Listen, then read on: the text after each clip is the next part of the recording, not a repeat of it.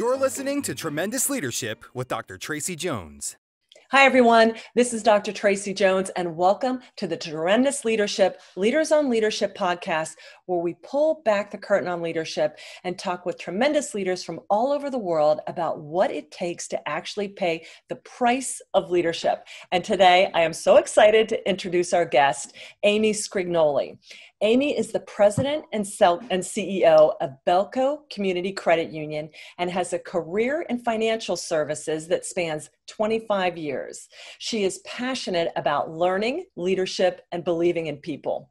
Amey has found that leadership is a very humbling experience and feels blessed to lead an outstanding organization with an amazing team of leaders. Amey, thank you so much for being here.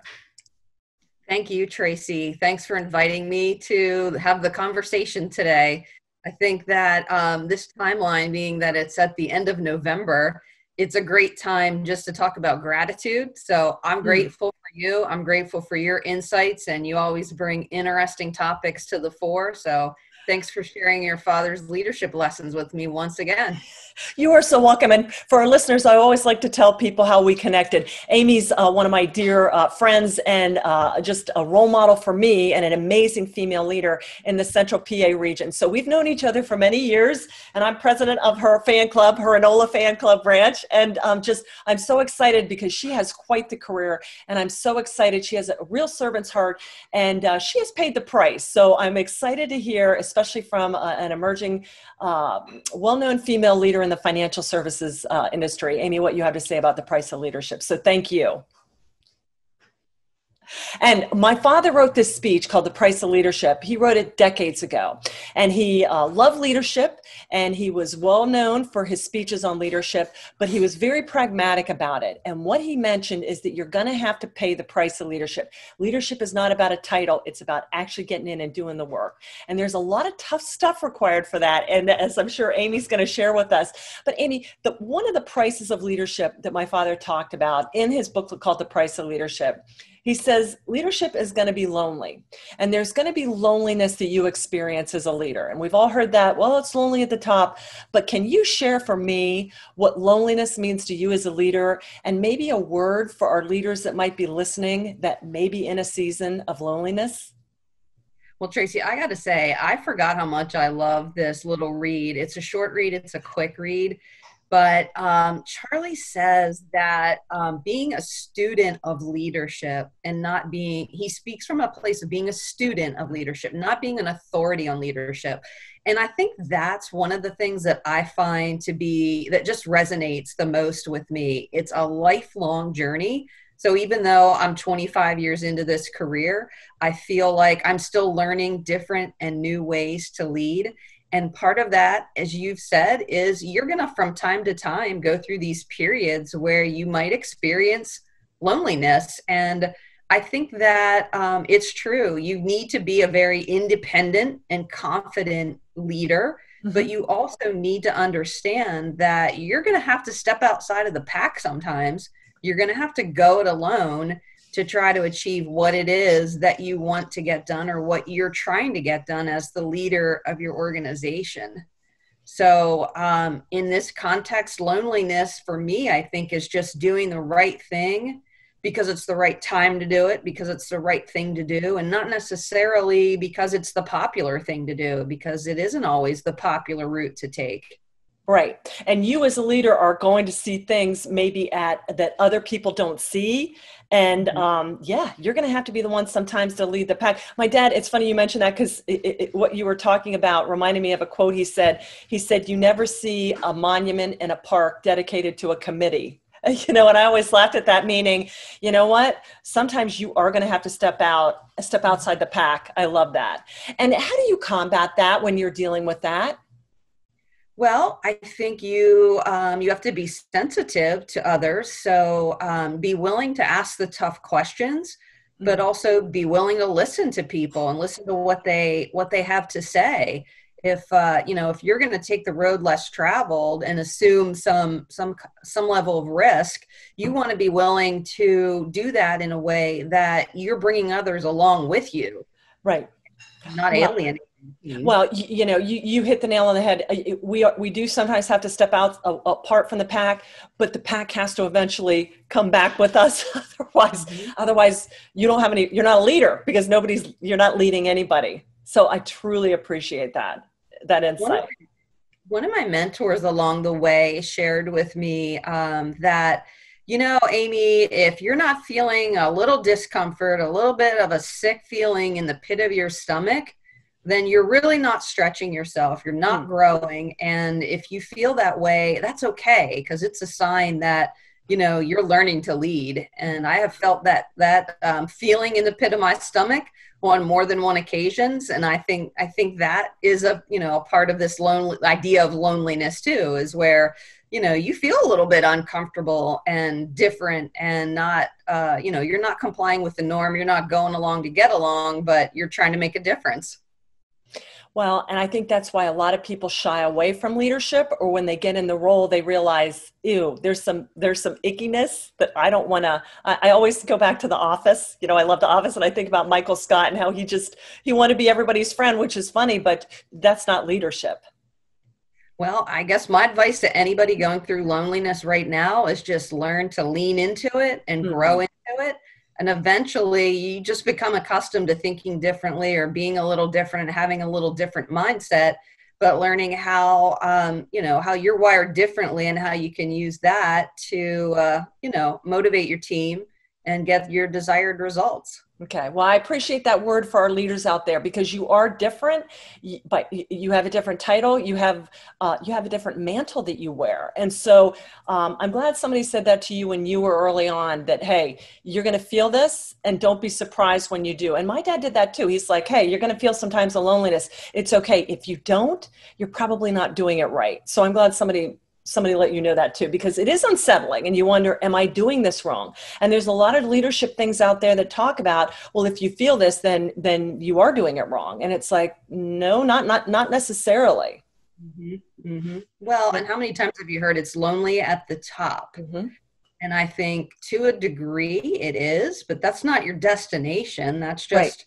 kind of part of the journey and it's not lonely at the top. If you can look around you and you've got um, you know you've got a peer group or you've got a team of people that come around you when you need them the most. Mm-hmm. so i don't necessarily think it's lonely all the time. It's just it's a period it's a season or it's part of the journey I love that. Well, and can you talk to that as a CEO?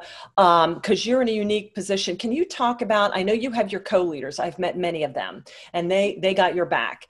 But can you talk to me about the importance of a peer group at the C level and what that does for you to kind of combat? Because there are times when you can't talk to anybody within the organization, and you you don't want to talk to your you don't want to have pillow talk. You know what I'm saying? Um, but can you share how? Because you you hit on that topic, the importance of that for you in dealing with loneliness. Yeah, I I am so glad you asked that question because I think there's this really small group for me. It's less than 5 people mm-hmm. probably mm-hmm. that you're just going to be they're going to be your go-to people in the time of need and it's a core group that I can go to for sage advice and like you said, they're outside of my organization. They're outside of my team, my Belco team they are kind of like my personal board of directors, if you will. Mm. And they're the folks that we share similar roles. Um, I feel really fortunate as a credit union CEO to have a strong peer group of other credit union CEOs that we come together. We serve on boards together. We collaborate on business. So it's a little different than what you might find in some other industries. Mm-hmm it's fantastic because I can go to them with a problem or an issue that I'm trying to wade through. I get ideas from them on best practices or uh, you know you get to run things by them and it's a way for you to uh, re-energize re-engage get a different perspective but you're not um, you haven't damaged any of your credibility with your own team or uh, revealed your hand with your own team so to so to speak I love that. That's a that's a great insight. I love that last point because there are times when you may feel, but it's like, hey, uh, in the military we'd say that loose lips sink ships. You know, there are times when you need to keep stuff very close close to the vest. Okay, so you hit on something just there where you talked about, you know, just the replenishment. The, the second price my father talked about was weariness, and um, you know, it, it's stuff you especially have gone through the credit union, which is community based interaction, and now with COVID and stuff like that how do you combat weariness? How do you stay refreshed and replenished, um, not only as a person, but as a leader when your entire organization has shifted? Mm-hmm, mm-hmm. Well, that's um, that's funny because I, I, go to that core group of folks, and one of the questions that I ask in the middle of this uh, 2020 season that we're wading through is, does anybody else besides me feel like you have told everyone that you interacted today that it's going to be okay. We got this. We're in this together.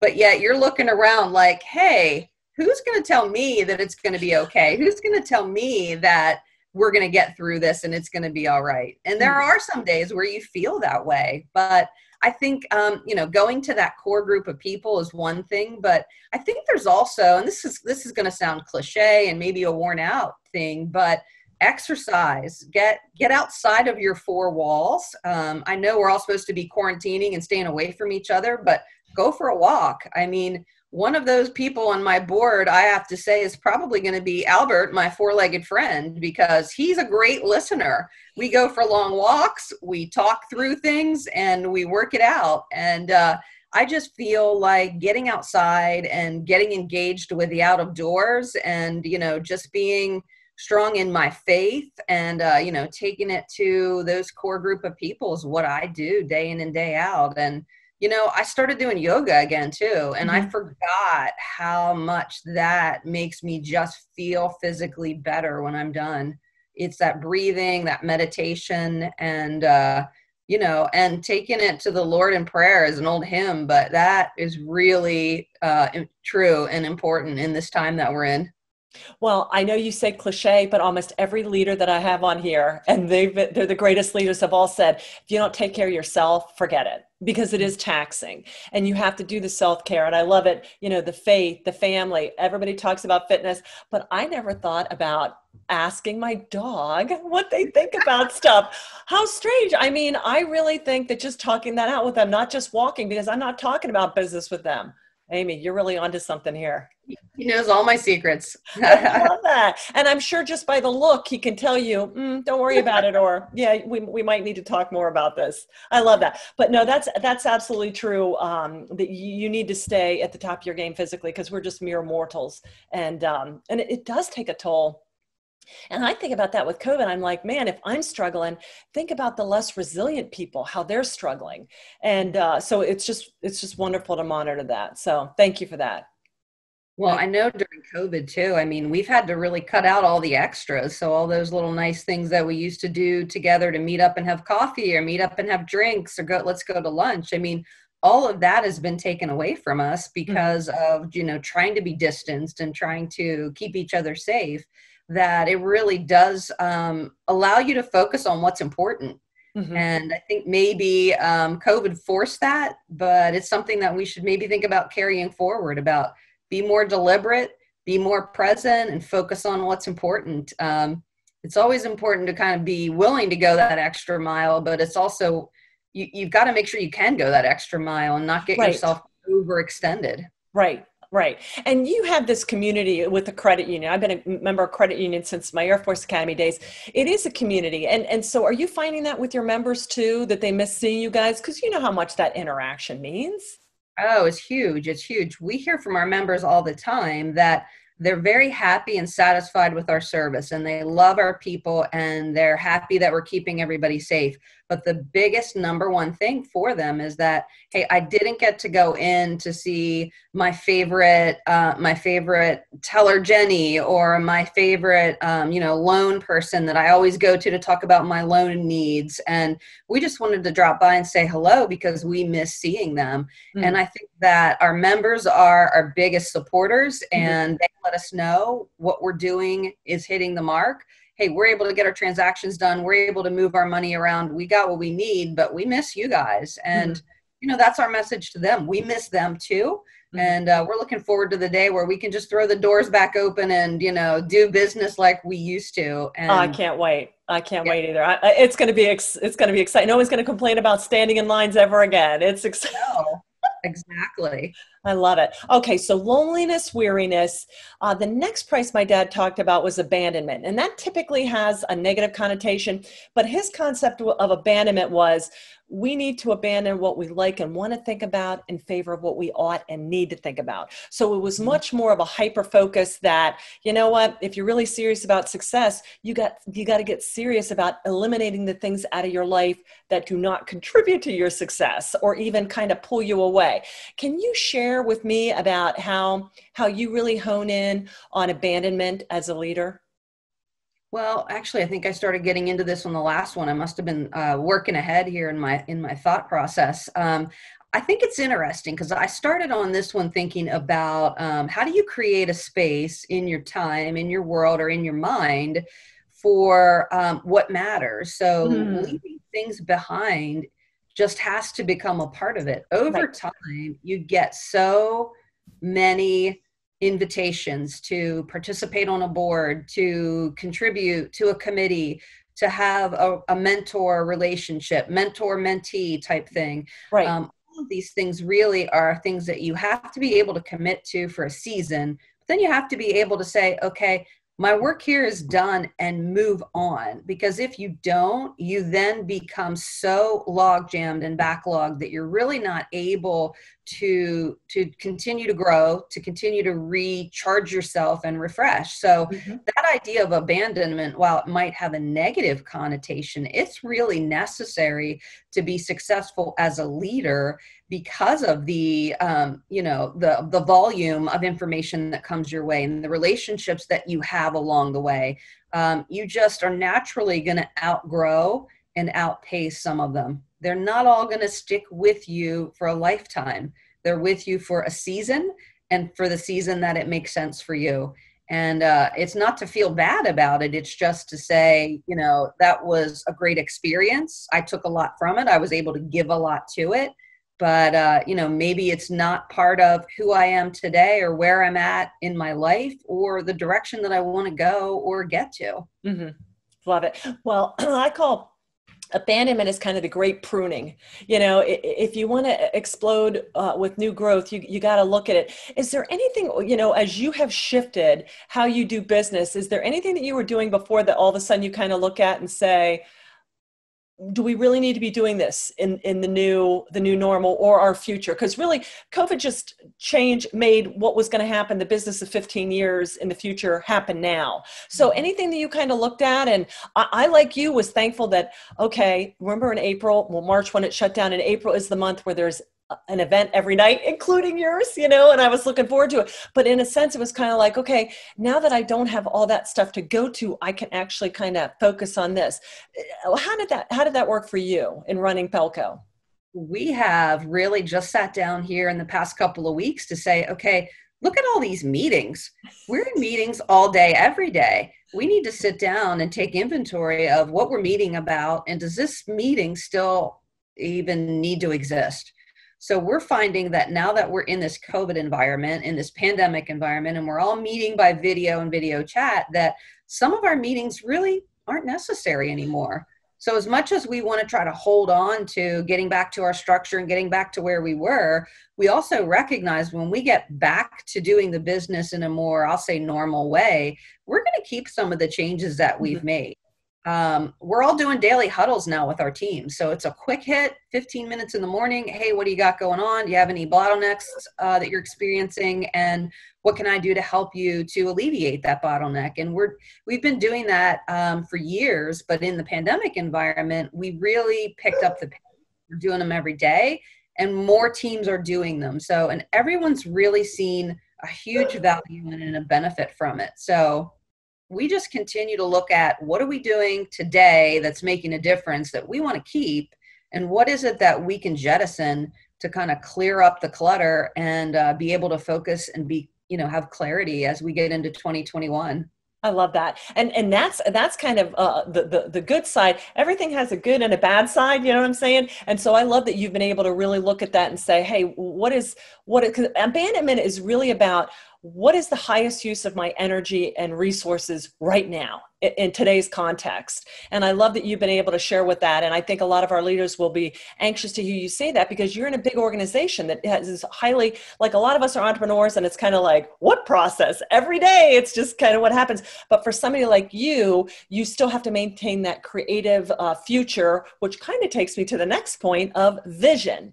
How mm-hmm. do you Amey craft your vision uh, for seeing what needs to be done and then executing a, a plan to make it happen?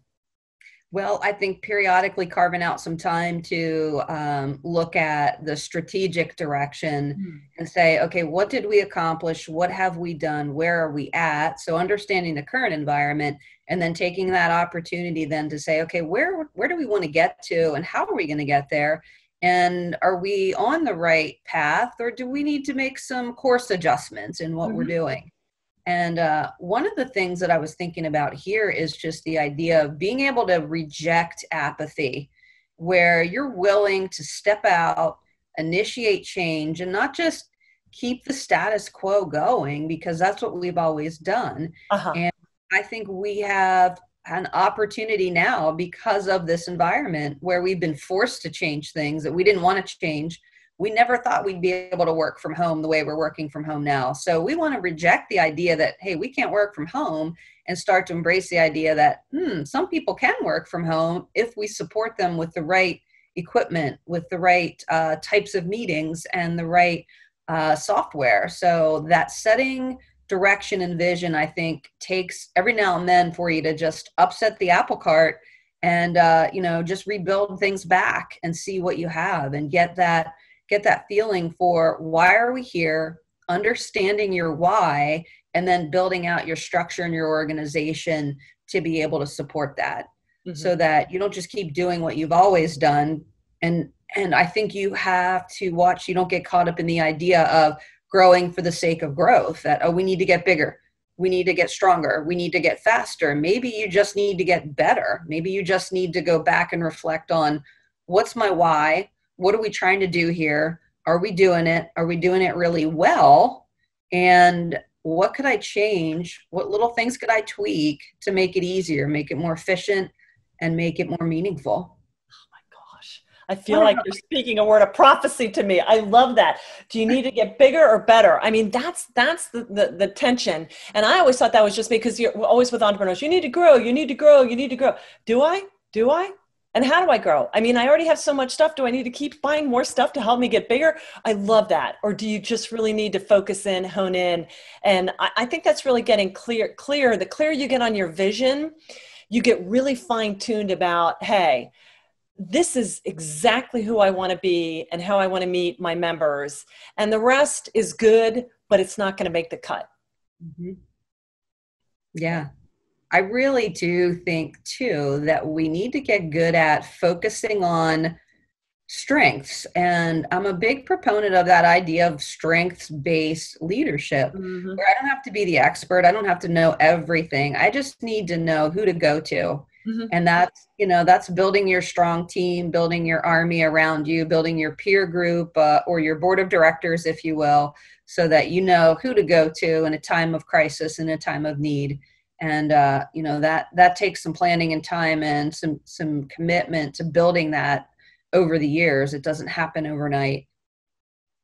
Absolutely. All right. So, Amey, I love it. You said reject apathy. I was did a podcast last week, and somebody said, um, something about knowing what your kryptonite is like what are your triggers? And i forget what his was. It wasn't apathy but it was like lazy well, kind of apathy. You know what i'm saying i tell people i'm lactose intolerant. I just right. just figure out a way to do it. Stop complaining about it. That drives me just crazy crazy insane. What do you do? What how do you how do you get people to um because you're a leader. You get all kinds of people. You get people that man you know the world could turn upside down and they're there they're there we'll figure it out boss. Um, and other people that just um, apathy seems to be like they're they're part of their dna how do you as a leader when you see the vision how do you how do you build that in? Well, I think uh, what you have to do is ask a lot of questions and try to identify who are your leaders mm-hmm. and who are going to be the individuals that are going to do something with their idea, with their thought, with what they see. Um, we're in the middle of uh, reading and doing a group book study on Pick Up the Gum Wrapper by Joe Bertato. Mm-hmm. And Joe talks a lot about strength based leadership in there, but he also talks about finding the people who are willing to pick up the gum wrapper not pitch the gum wrapper down not walk past the gum wrapper but be willing to pick up the gum wrapper because it's the right thing to do because it needs to be done and those are the people that you really want to seek out and find to be a part of your team recognize and reward those individuals and uh, you know and try to avoid the apathy in the organization you know coach it up and out i guess would be yeah. the best thing that well, I, and I, I love coach it up and out. And that's one of the other things. Hey, and another uh, a, a retired a rear admiral said that to me. Hey, if, if they just insist on that, then you just withdraw uh, responsibility and trust until eventually they're, they're outed from the organization because they put themselves in that. So I appreciate your, your authenticity and your transparency in that because anybody that's run people know that there's some people that are in and some people you could pay them a million dollars a day and it's just not going to work. So thank you for that. I appreciate that. Agreed. All right. So, Amey, what else? We've covered the four things on leadership, uh, paying the price of leadership. And I, I, really thank you for your insights on each of them. Anything else um, that you would like to share from your leadership journey with our listeners? I think I would just say that, you know, you've got to continue to learn, to grow, to evolve, and don't allow yourself to get stagnant. Don't allow yourself to, well, I'm I'm a I'm the CEO now I've arrived. I mean, leadership is not like a GPS. It's not going to say you you've arrived at your destination. You'll never arrive at your destination if you're a true leader. You will continue to grow, evolve and move past where you ever thought it was possible to go. So I guess I would just leave everybody with that is just be a lifelong learner, be willing to adapt and be willing to put the work in because that's what it takes to be a great leader. I love it. Well, that's what my dad always said. If he had it to do over again, he wouldn't be Charlie Tremendous Jones. And you'll love this based on what, how you started. He said, I'd be Charlie Thankful Jones or Charlie Learning Jones. Because, you know, as much as he was known for leadership, he's like, every time I talk about it, I realize how, how little I truly know. And that's mm-hmm. who makes the best leaders. Exactly. Agreed. Yeah. Excellent. Well, Amey, how can people get in touch with you? Uh, I can be reached at my email, which is my last name, hard to spell, but uh, Sgrignoli and the letter A at Belco, B E L C O dot O R G, or they can give me a call at 717 654 8205. So either one of those would be great. I love it. And for our listeners out there, we will make sure check out the show notes at the bottom. We'll have Amey's all the things that she has talked about to include the book she referenced, Joe Bertato's book. I didn't know about that. That doesn't surprise me. Joe's incredible. I'm going to check that out. And um, and all, all the notes so you can get in touch with Amey. So Amey, I just want to thank you so much for being a part of our Leaders on Leadership podcast and for inspiring leaders and for pouring into me and our listeners today. Thank you, Tracey. It's always great to talk with you. It's always a pleasure to spend time with you, and today's no exception. Thank you, Amey. To our tremendous listeners out there, if you like what you heard, please be sure ring that bell, hit the subscribe button wherever you listen. Also, we'd be honored if you would do us the solid of a five star review. Also, leave us a note. We answer all our comments. And if you go over to tremendousleadership.com or at the bottom of the show notes, you can download a free copy of The Price of Leadership where you can get that little life changing classic that will change your life. It's a little gem, as Amey said, and it's a quick and powerful read. So, to our tremendous family out there, thank you for being a part of our tribe. Thank you for being the leaders so many people need to see. Thank you for paying the price of leadership. Have a tremendous rest of the day. Thank you for listening to Tremendous Leadership with Dr. Tracey Jones. Find out more about Dr. Jones at www.tremendousleadership.com. If you've been ignited by something you heard in this episode, let us know by leaving a review for Tremendous Leadership wherever you listen to podcasts, or by sending us a message through www.tremendousleadership.com.